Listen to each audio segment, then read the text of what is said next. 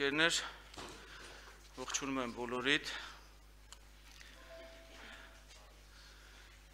Ինչպես գիտեք, դեռևս անցած տարի ամռանը Լուսավոր Հայաստան եւ Բարգավաճ Հայաստան ազգային ժողովի խմբակցությունների նախաձեռնությամբ իրավունքի ուժով ստեղծվել է կորոնավիրուսի դեմ պայքարի կառավարության եւ պարետատան միջոցառումների արդյունավետությունը ուսումնասիրող քննիչ հանձնաժողով,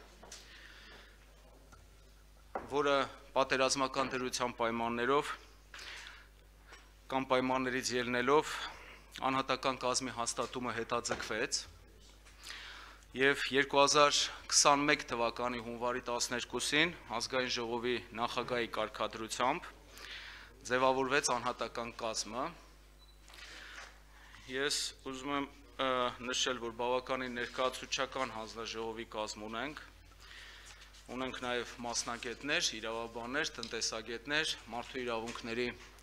պաշտպանությամբ զբաղվող նաև գործընկերներ, որոնք արդեն տարիների փորձ ունեն։ Եվ կարծում եմ, որ այդ բոլոր մեր գործընկերների աշխատանքը շատ օգտակար կլինի հանձնաժողովի համար, Դուք գիտեք, որ 2020 թվականը չափազանց ծանր տարի էր առողջապահական համակարգի համար։ Նախ տարեսկզբից եւ տարվա մեծ մասը ըստ էության մեր ժողովուրդը ստիփած անցկացրեց նախ արտակարգ դրության պայմաններում,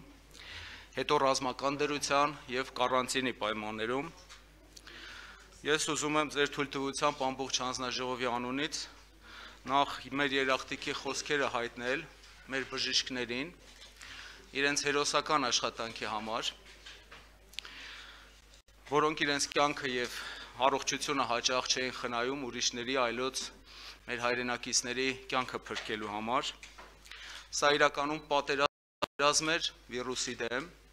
եւ առաջամարտիկները ըստ էության մեր բժիշկներն էին։ Գիտեք, որ թե համավարակի արդյունքում, թե ռազմական դրության արդյունքում մեր երկիրը վճարեց տնտեսական գին,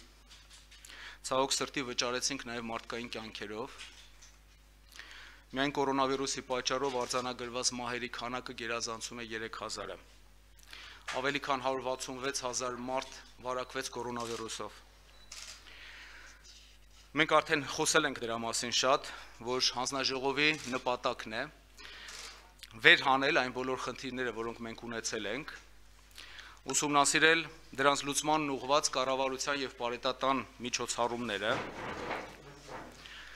եւ ներկայացնել նաեւ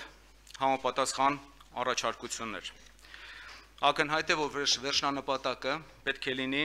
երկրի ինստիտուցիոնալ կարողությունների մեծացումը նման համավարակներին դիմակայելու համար, որոնցից ապահովագրված չէ ապագան որևէ երկիր։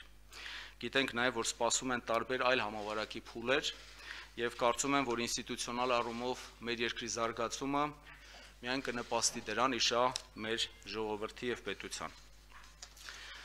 Սա քննիչ հանձնաժողովի առաջին նիստն է